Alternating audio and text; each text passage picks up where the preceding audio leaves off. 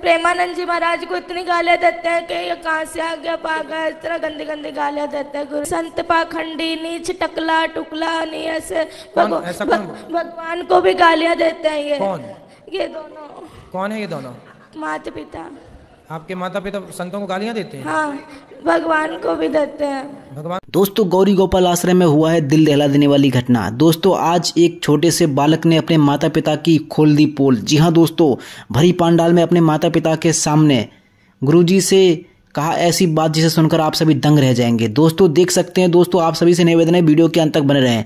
दोस्तों, ये बालक माता पिता के बारे में ऐसी बात सच्चाई कहता है, जिसे सुनकर इनके माता पिता भड़क जाते हैं। जी हाँ दोस्तों, ये बच्चा अपने घर घर परिवार को छोड़कर महाराज जी के साथ रहना चाहता है। जी हाँ दोस्तों, आप सभी से निवेदन है, इस वीडियो को अंत तक बने रहे, ताकि आप सही सच्चाई जान सकेंगे। दोस्तों, चलिए, बिना किसी देरी किए हुए वीडियो को देखते हैं और जानते हैं पूरी सच्चाई।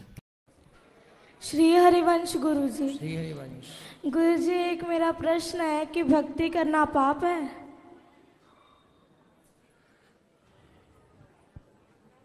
किसने बोला आपको? लोग तो यही मानते हैं कि भक्ति करता है जो वो पागल है नहीं वो कहने वाले वो पाप हैं। है। वो मूर्ख लोग हैं तो उसमें उनका उनका भी दोष नहीं है वो खुद मूर्ख है। गुरु जी भक्ति करना तो भक्तों का जिस पर भगवान की कृपा होती है वही कर सकता है। भक्ति कहाँ कर सकते हैं? गुरु जी गुरुकुल में रख लीजिए ना।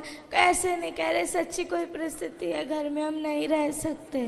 कोई बात नहीं। आपके पिताजी शराब पीते हैं आप मांस खाते हैं। सुबह आपने कहा था ना कि छोड़ देना घर होटल में जाके इन्होंने कहा कि नहीं छोड़ेंगे उनकी क्या औकात? तू हमें ऑर्डर देने वाला कौन है? क्यों? आओ यहाँ आओ बात करो। ये गुरु जी कृपया रख लीजिए ना दास को हाथ रख। ज़रूर ज़रूर रख लेंगे आपको हम पर आपके पिताजी से बात करेंगे। कोटि कोटि नमन गुरु जी। क्यों? बच्चों के क्यों संस्कार बिगाड़ रहे हो? ये आपका बेटा है। हाँ जी। तो क्यों शराब नहीं छोड़ रहे हो आप? छोड़ देंगे और आपका बेटा बता रहा था कि आप उसे पूजा पाठ भी नहीं करने देते हो। गुरु जी सारे दिन पूजा पाठ करता रहता है सुबह मंदिर चला जाता है वहाँ सारा दिन रहता है शाम को चला जाता है चार घंटे बाहर रहता है। मैं कहा जितना उतना ही कर लो। ये सारा दिन करता रहता है सारा दिन। पढ़ाई छोड़ दी स्कूल नहीं जाता ये। पढ़ाई तो जाता नहीं है छः महीने हो गए जाता नहीं है स्कूल। बेटा स्कूल क्यों नहीं जाते आप? गुरु जी कृपया ना वहाँ पे पढ़ाते हैं कि तुम मांस तुम मांस खाया करो। ऐसे स्कूल में क्यों पढ़ाए जहाँ मांस खाने के गुरु जी सिखा रहे हैं? वो ये इसलिए नहीं क्योंकि संतों को गालियाँ देते हैं कि संत पाखंडी नीच टकला टुकला नहीं ऐसे कौन? भगव- ऐसा कौन? भगवान को भी गालियाँ देते हैं ये। कौन? ये दोनों। कौन है ये दोनों? माता पिता आपके माता पिता संतों को गालियाँ देते हैं? हाँ भगवान को भी देते हैं। भगवान को भी क्यों गाली देते हो? संतों को कहते प्रेमानंद जी महाराज को इतनी गालियाँ देते हैं कि ये कहाँ से आ गया पागल इस तरह गंदी गंदी गालियाँ देते हैं गुरु जी प्लीज़ रख लीजिए ना दास। नहीं हम रख लेंगे। क्यों गाली देते हो संतों को? मैं तो नहीं देता गुरु जी ऐसे ही बोली जा रहे हैं। ये माँ तो मना कर रही है आपकी। पढ़ाई छोड़ देने जो इसको बोलते हैं भाई। हैं? ये पढ़ाई छोड़ दी है ना जब इसको बोलते हैं हम। भाई बेटा पढ़ाई क्यों छोड़ी तू? हाँ तो पढ़ाई आपने क्यों छोड़ी? अब ये बताओ। मैंने इसको ऐसे बोला था बेटा तू दसवीं कर ले जब मर्ज़ी तू जय वृंदावन में जाके तुम्हारा एडमिशन करवा लेना। ठीक है। बस ये बात कही थी इसको। ये ना छवीं प्लस क्लास पूरी भी नहीं की है अभी भी और इसने छोड़ दी पढ़ाई। बात कराओ। पूछो इसको। भक्ति करना बहुत अच्छी बात है लेकिन अपना कर्म भी तो ज़रूरी है ना बेटा? पढ़ाई लिखाई भी ज़रूरी है। पहले पढ़ाई लिखाई कर लो और पढ़ते लिखते फिर भगवान का चिंतन भी बना रहे। के दिन जब अल्लाह ताला वापस से हमें दूसरी ज़िंदगी देंगे तो कहेंगे, अपने कब्रों से उठो। हिंदू भाई साहब पूछे कि हिंदू लोग तो कब्र में दफनाए नहीं जाते। हिंदू बच्चे दफनाए जाते ना? हिंदू बच्चे, हिंदू मज़हब में छोटा बच्चा है, उसको जलाया नहीं जाता, उसको दफनाया जाता है। फिर भी कई मुसलमान हैं जो डूब के मरते हैं, जो जल के मरते हैं, उनको भी दफनाया नहीं जाता है, जिनकी हमें मिलती नहीं। ये जब अल्लाह ताला कहेंगे कि फिर से हम ज़िंदगी देंगे, ज़रूर नहीं कि आप कब्र में से ले आ जाएँगे। जो भी इंसान मर चुका है, उसके नई ज़िंदगी दी जाएँगे। कुरान मजिद में अल्लाह ताला फरमाता है कि अल्लाह उसमें जान डालेंगे, फिर मौत देंगे, फिर से जान डालेंगे। तो अल्लाह जान डालेगा, चाहे वो कब्र में है, चाहे जलाया गया है, चाहे डूब गया है, जो भी हालत में है, अल्लाह उस इंसान में फिर से जान डालेंगी। और अल्लाह ताला को जान डालना बहुत आसान है। चाहे आप दफनाए गए हैं या चाहे जला दिए गए। अल्लाह ताला फरमाते, जब गैर मुस्लिम के एतराज़ करते अल्लाह से और अल्लाह से पूछते हैं कि जब आप दफनाए जाएँगे और क्यामत के रोज जब इंसान उठाए जाएँगे तो अल्लाह ताला उनको हड्डिया को कैसे जोड़ेगा?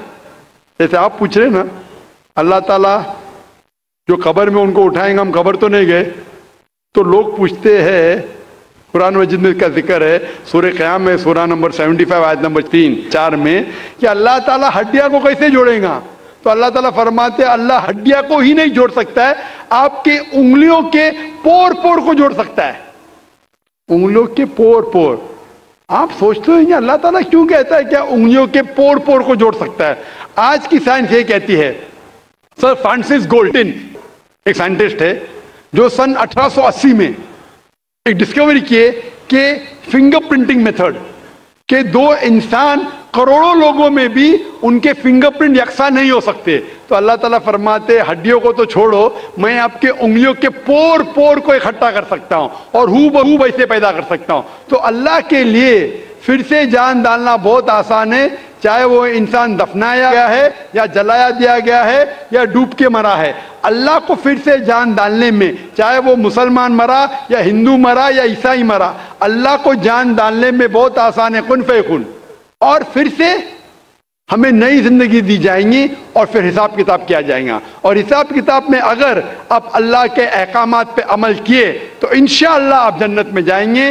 इस दुनिया के इम्तिहान में सफलता पाएँगे। लेकिन अगर उनके अहकाम पे आपने नहीं चले उनके मुताबिक नई ज़िंदगी बसर करे तो आप इस ज़िंदगी में सफलता नहीं पाएँगे। Hope the answer the question number तीन से मैं कोई गैर मुस्लिम भाई हूँ। बैक्सन जॉर्ज और मैं स्टूडेंट है। सर एक्चुअली ये रिलीजन होना ही नहीं चाहिए मेरे ख्याल से तो। या तो बहुत सारा वॉर होता है आपने बोला ब्रदरहुड होता है। तो एक्चुअली ये रिलीजन नहीं रहेगा तो ये ब्रदरहुड डेफिनेटली नहीं रहेगा ह्यूमैनिटी रहेगा। नहीं तो वॉर भी नहीं रहेगा। तो रिलीजन होना ही नहीं चाहिए कॉन्सेप्ट रिलीजन क्यों होता है? क्या आप हेल्प करेंगे उसके लिए? भाई साहब का सवाल है कि रिलीजन होना ही नहीं चाहिए। ये मज़हब होना ही नहीं चाहिए। ये मज़हब की वजह से वॉर होता है झगड़ा होता है। आप कहते भाईचारा बढ़ता है वॉर होता है सिर्फ़ ह्यूमैनिटी होना चाहिए। भाई साहब भाई साहब नाम के माइक बैक्सन जॉर्ज कौन से माइक्रोफोन पे? हाथ ऊपर करेंगे? जॉर्ज जॉर्ज बोलिए सर पीछे वाली माइक्रोफोन जॉर्ज भाई साहब से पूछूँगा। ये कहते कि मज़हब होने की वजह से लड़ाई हो रही। भाई साहब क्या मैं आपसे लड़ रहा हूँ? भाई साहब नहीं नहीं। क्या मैं आपसे झगड़ रहा हूँ? हाँ क्या नहीं? नहीं सर। आप समझते हैं मैं मजहबी हूँ? हाँ सर। हूँ ना? तो मैं क्या आपसे लड़ रहा हूँ? जो सही मज़हब को जानता है सच्चा मुसलमान है वो आम तौर पे झगड़ा नहीं करेगा। क्योंकि कुरान मजीद की आयत है सुर मायदा की सुरा नंबर पाँच आयत नंबर बत्तीस में लिखा है कि अगर कोई भी मुसलमान, चाहे मुस्लिम हो या गैर मुस्लिम हो, अगर किसी का कत्ल करता है, चाहे मुस्लिम या गैर मुस्लिम का, बिना कोई वजह के, कत्ल के बदले कत्ल, या अगर उसने इस ज़मीन पे if cause corruption in the land इन दो वजह के अलावा अगर कोई इंसान दूसरे इंसान का कत्ल करता है, गोया के ऐसे है कि सारे इंसानियत का कत्ल कर रहा है। मैं आपको एक मिसाल दूँगा। जब मैंने लेक्चर दिया था टेररिज्म मुस्लिम मोनोपोली तो अक्सर जैसा हमारा सेशन होता है कि गैर मुस्लिम को पहले चांस दिया जाता है।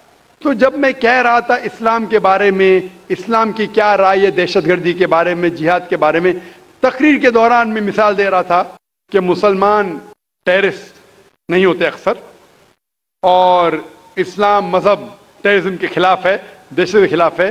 सवाल जवाब के मौके पर एक हिंदू ने मुझसे सवाल पूछा। कि जाकिर भाई, जो गुजरात में हुआ, जो मुसलमानों के साथ जो गलत हुआ, जो मुसलमान औरत के साथ बलात्कार हुआ, अगर मैं होता तो मैं भी हिंदुओं को यहाँ चुन चुन के मारता था। तो जो मुसलमान हिंदू को, अगर ट्रेन ब्लास्ट में कोई हिंदू मरा और मुसलमान ने किया तो मेरे नज़दीक सही है। ये हिंदू मुझसे कह रहा है कि मेरा जज्बा भी, अगर कोई मेरी बहन का बलात्कार करे तो मेरा जज्बा भी जागेगा और मैं बम्बई में हिंदू का कत्ल करूँगा। कौन कह रहा है? हिंदू मुझसे कह रहा है। तो मैं उसको जवाब देता हूँ, भाई साहब, आप बिल्कुल सही कहते हैं। आम इंसान यही सोचेगा। आम इंसान? यही सोचेगा। और आप आम इंसान जैसे सोच रहे और सब पब्लिक में तालियाँ बज रही थी। लेकिन मैं आम इंसान नहीं हूँ। मैं मुसलमान हूँ। मेरा मज़हब, मेरा मेरा रब मुझे इजाज़त नहीं देता है। अगर कोई हिंदू ने किसी मुसलमान का कत्ल किया है, या कोई औरत का बलात्कार किया है, मैं वही मज़हब के इंसान बंबई में उसका कत्ल नहीं कर सकता हूँ। यह इजाज़त ही नहीं है। अगर मैं शायद मुसलमान नहीं होता तो मैं कहता था हाँ वो हिंदू से आप सही कह रहे हैं। मेरा मज़हब मुझे इजाज़त देता ही नहीं। ये आपकी इंसानियत जो कह रही है। मुसलमान होने के लिए इंसान होना फ़र्ज़ है लेकिन इस्लाम इंसानियत से ऊँचा है।